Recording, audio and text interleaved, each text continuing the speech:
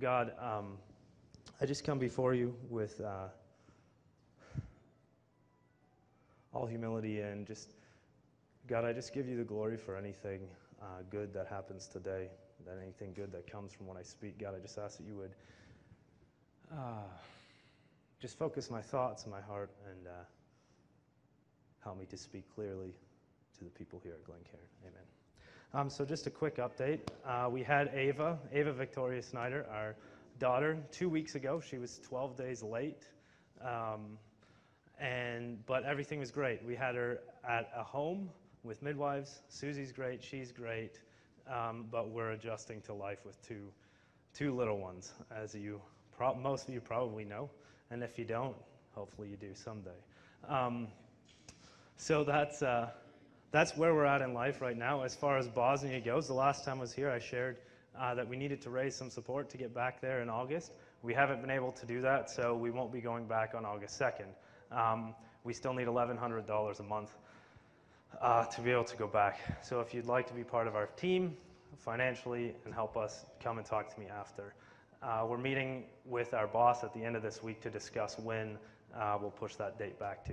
So that's what's happening with us very briefly. Um, Bosnia is still there, the team is still there, and they're still doing work there. Um, and God is still faithful and still moving.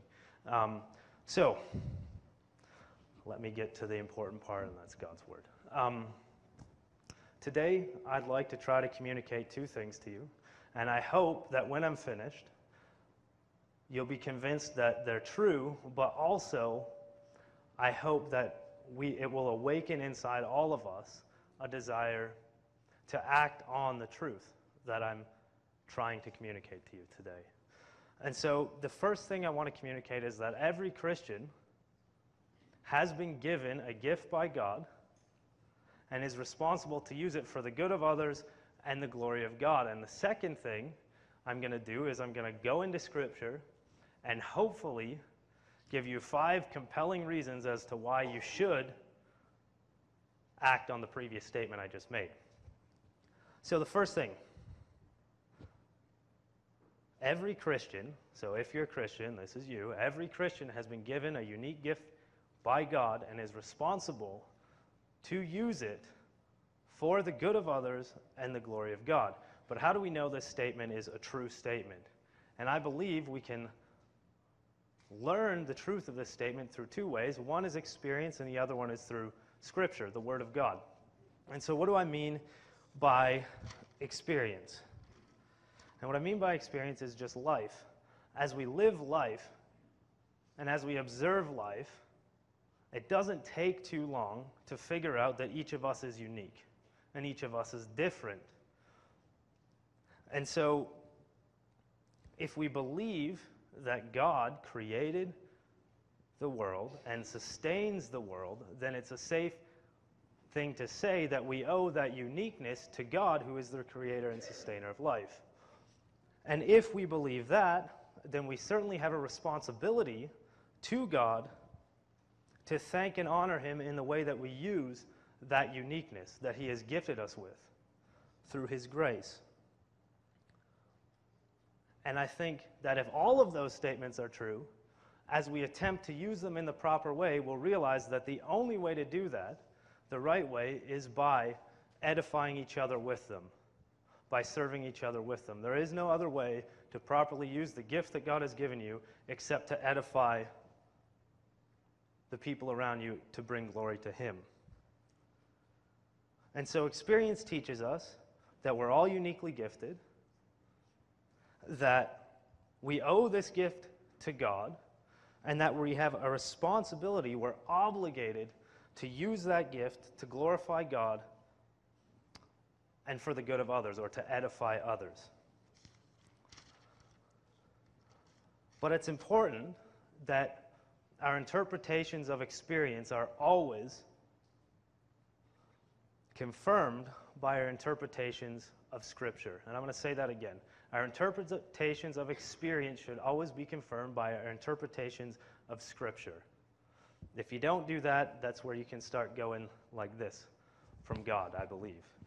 And so there's two passages that I want to look at that I believe really confirm um, what experience teaches us. And so the first one is 1 Peter 4, verses 10 and 11. As each one has received a special gift, employed in serving one another as good stewards to the manifold grace of God. Whoever speaks is to do so as one who is speaking the utterances of God. Whoever serves is to do so as one who is serving by the strength which God supplies, so that in all things God may be glorified through Jesus Christ, to whom belongs the glory and dominion forever and ever. Amen. So, right away in these the two verses, we see everything that experience teaches us. Number one, in the first line, each of us has received a gift from God. Number two, we have a responsibility to use that gift to glorify God. Number three, we have a responsibility to use it for the good of others. And the fourth thing that it shows us, and this is what I don't want us to miss, this is the practical implication for all of us that this verse shows us and that is if you are a Christian, there is some special manifestation of God's manifold grace in you, which can be used for others to help them in life and faith and can honor God. I want to say that again. If you are a Christian, there is some ma- manifestation, a special manifestation of God's manifold grace within you, which can help others in life and in faith and can honor God. So let's look at the second verse that I think um, will help us, and that's 1 Corinthians 12 7. And it says, But to each one is given man- the manifestation of the Spirit for the common good. Now, notice here it says, To each one is given. It doesn't say to pastors and to missionaries and to perfect people is given it says to each one. That means to everyone. There's no exceptions. Everyone is given a manifestation of the manifold grace of God for the common good. So, if you are a Christian, then you have been given a unique gift by God, and you are responsible not to squander His grace through negligence. Let me say that again. If you are a Christian, you have been given a unique gift by God, and you are responsible not to squander that gift, the gift of His grace, through negligence. So I hope you're getting the theme of what I'm trying to say today at this point.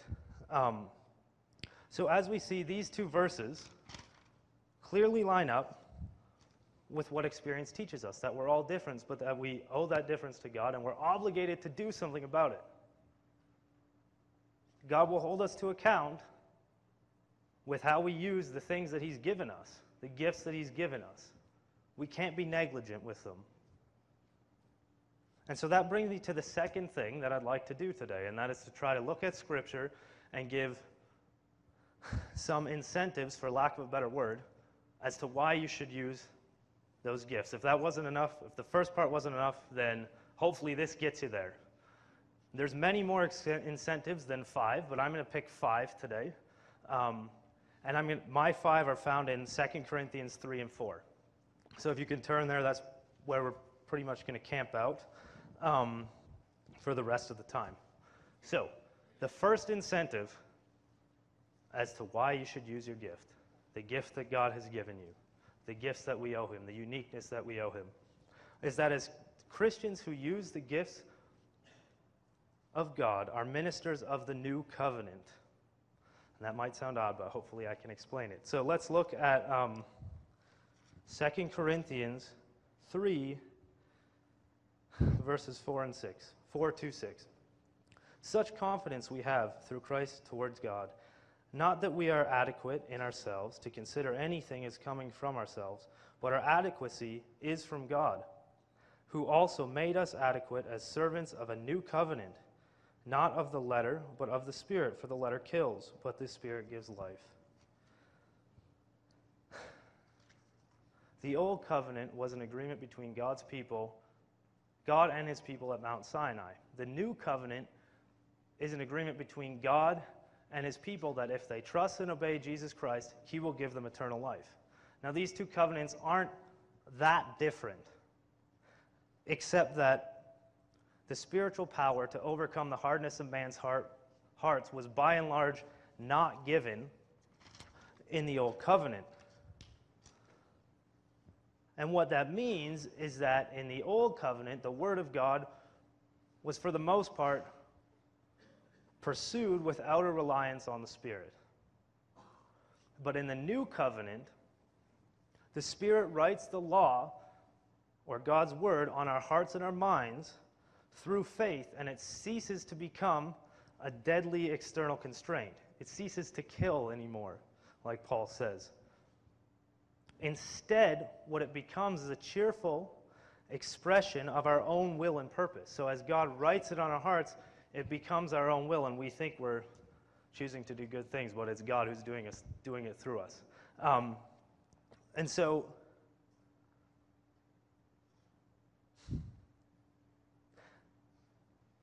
if we're under this covenant, if this is the new covenant, if God has wrote those things in our hearts through faith, what is the incentive to use our gift? How does that relate to our gifts?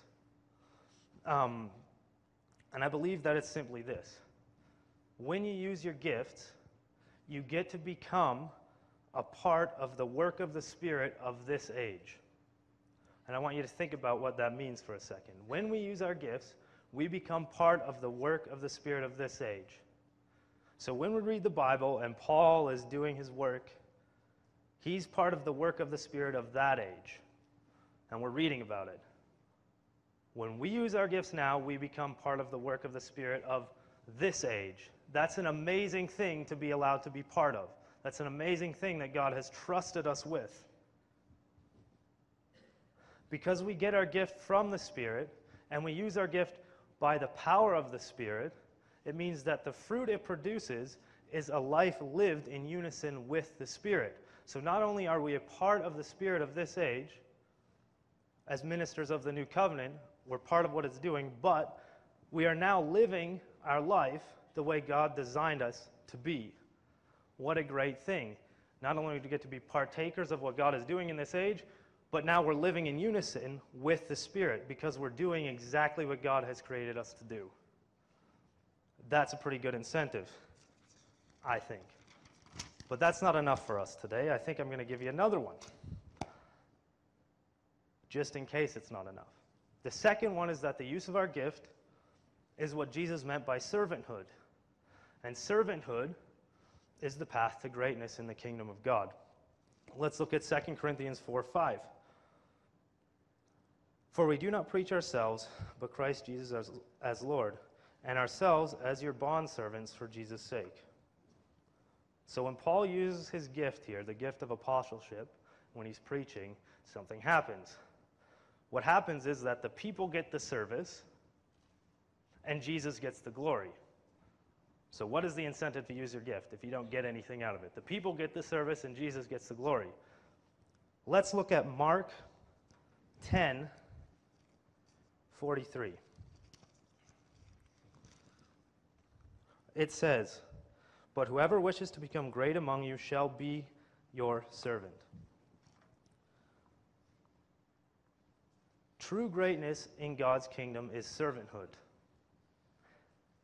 And the use of your gift for the good of others is the way that God intends you to serve. I don't believe that you can serve effectively any other way than to do it the way God created you to do it than to use the gifts that He gave you and then to allow His Spirit to work through you to use those gifts. That's the true way you can serve effectively. And when you do that, that is the path to greatness in the kingdom of God. So, not only do we get to be partakers in what the Spirit is doing now in this age, live a life in unison with the Spirit, but now we get to become great in the kingdom of God if we use our gifts, the gifts that God has uniquely gifted us with. Now, the third thing is less of an incentive and more of a. I couldn't think of a word today or this week when I was preparing it, but it's basically, I hope it takes away any excuse not to use your gifts. Um, The third incentive to use your gifts is that your ordinariness is no reason not to use your gift. And let's read 2 Corinthians 4 7. But we have this treasure in earthen vessels, so that, so that the surpassing greatness of the power will be of God and not from ourselves. God's concept of ministry is vastly different from man's concept of ministry, from the world's concept of ministry. The world wants a shiny, neat, perfect pass- package for ministry. They don't want the glory of God in human weakness. That's why they couldn't accept Christ. That's why they reject Christ now. That's why they crucified Christ, because the glory of God came in human weakness. That's not what the world expects. But if there's one thing that we need to learn, it's that God's will to be glorified in all things determines how we do all things. Let me say that again, because I really want you to get that. God's will to be glorified in all things determines how we do all things. God's purpose is to be glorified. That's what God wants because He's God. He wants to be glorified. He wants people to see that the power of our gifts belongs to Him, and He does it by putting the treasure of His gifts in weak, broken earthen vessels like you and me. In the kingdom of God, our weakness, our ordinariness, is not a liability, it's an asset if we truly desire God to be glorified. There is nobody who is too weak, too common, too shy, too inarticulate, or too disabled to do what God has called them to do with the gifts that He has given them. Because it's God who does it through you by the power of His Spirit. So, no matter what condition you are in, you have been given a unique gift by God, and the humble use of it in reliance on the Spirit will bring glory to God. In our weakness, He is made strong. Number four, the use of your gift causes thankfulness to God to increase.